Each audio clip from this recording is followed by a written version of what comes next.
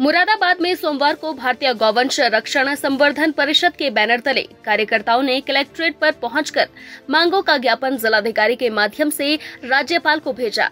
केंद्रीय नेतृत्व के आह्वान पर गौरक्षा राष्ट्र रक्षा हेतु बकरा ईद से पूर्व गौवंश तस्करी के विरुद्ध कठोर कार्यवाही निश्चित करने हेतु प्रशासन को ज्ञापन सौंपा। प्रदीप राणा ने बताया कि गौवंश हमारी सात्विक ऊर्जा आर्थिक समृद्धि एवं आरोग्य स्रोत में से है। इसी दिव्य वैज्ञानिक आधार को देखते हुए परिषद देश में बढ़ रही गौवंश तस्करी एवं हत्या की घटनाओं पर चिंता व्यक्त करते हुए बकरा ईद पर यह मांग करता है कि राज्य सरकार एवं स्थानीय पुलिस प्रशासन इन घटनाओं के विरोध सिर्फ़ कठोर कार्रवाई करे, बल्कि भविष्य की पुनरावृत्ति हेतु पूरी संवेदनशीलता के साथ समुचित कदम उठाए। इस मौके पर धीरा शांत दास, अरविंद राठौर आदि गौरक्षा के पदाधिकारी मौजूद रहे।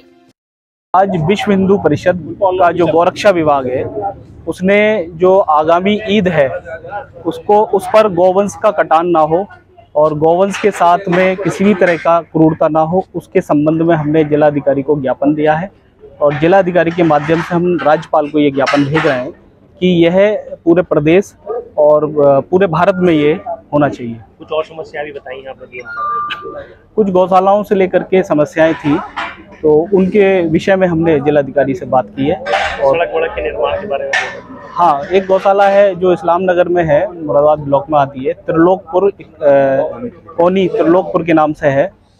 उस पर सबसे बड़ा जो समस्या है वो सड़क की समस्या है क्योंकि अभी कल बारिश हुई है कच्चा रोड है वहाँ तक हम प्रॉपर तरीके से कोई भी नहीं पहुँच पाता है। तो वो उस समस्या का समाधान जल्दी से जल्द हो, इसलिए हमने जिलाधिकारी से मांग की है।